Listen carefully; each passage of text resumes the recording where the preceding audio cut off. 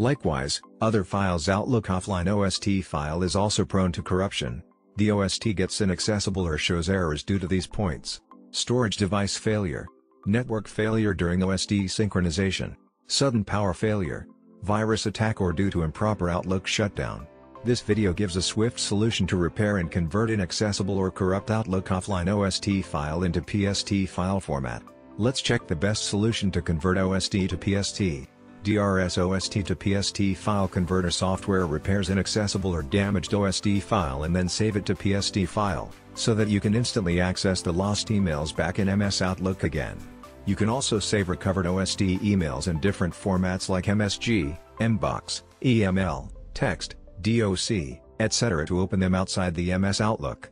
You can also repair multiple OST files at once and export them to Gmail, Yahoo, AOL, Hotmail, Office 365, and various other emailing platforms. Now let's check out the notable features of the software. Open corrupt OST file and then converts it to PST. Also converts OST files to MBOX, PDF, HTML, EML, and many other file formats.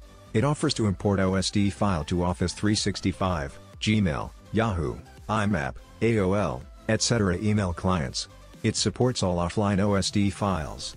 Runs on all the versions of the Windows operating system. For better results launch the tool as run as administrator. Now understand how to convert OST to PST file with DRS OST to PST tool. The software opens with a user-friendly GUI choose an option from a single file or multiple files. Now click the Browse button to locate OST files from your computer. Now select the OST files and hit the Open button to add them to the software. After that provide the log file and temporary file path. Click Next to continue. From the next screen choose the OST items you want to convert and click Next to proceed. After that select the file saving option from the drop-down list. Here we choose PST to complete the process. Now you can apply multiple customized features and filters as per your need. If you want to remove duplicate emails then tick the checkbox Remove Duplicate Emails. Select the Maintain Folder Hierarchy feature to keep data in a structured form. If you want to save emails from a specific date range then tick the checkbox Mail Filter and Task Filter option, enter start and end date as parameters. And you can also add a custom folder name for your choice. After that choose the file saving path and click Open to select it. Then, click on the Convert button to start the conversion process. Now the OST to PST file conversion process is running on your computer. Wait for some time until the process gets performed.